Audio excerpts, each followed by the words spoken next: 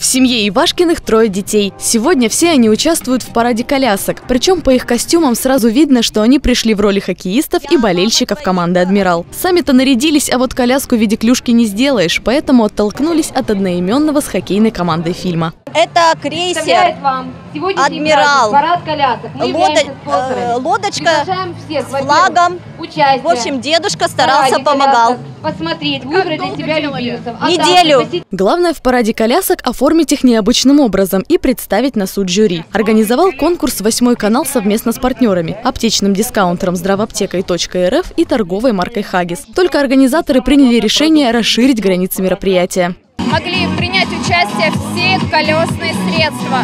Это мамы с колясками, дочки с детскими кукольными колясками, а также велосипеды, скейтеры, роллеры, а, абсолютно а, все, но кроме автомобилей. Вдобавок парад объединил маломобильных людей и байкеров. Виктор Гришин даже смог пусть и на время, но сменить инвалидное кресло на сиденье мотоцикла. Говорит, сделал это впервые. ощущение отличное, хорошее настроение, все поднимается. Парад колясок стал настоящим карнавалом. Здесь были и гусар с усами, прикрепленными к соске, и маленький поваренок, и ученик, который сидел внутри букваря. Все замечательно проходит. Спасибо вам. Очень хороший конкурс. Первый раз мы пропустили на День города, потому что долго собирались. В этот раз я сказала, что в любом случае пойду, потому что уже в коляске, я так думаю, мы уже недолго будем ходить. Скажи, кто ты? Повар. А вот мотоциклисты не успели украсить свой транспорт, но пофантазировали, как могли бы выглядеть, будь у них больше времени. Мотоцикл бы, наверное, так бы, наверное, и остался, а вот э, самим бы, сами бы, может быть, оделись бы э, в костюм, в костюм тигра, это, наверное, было бы интересно.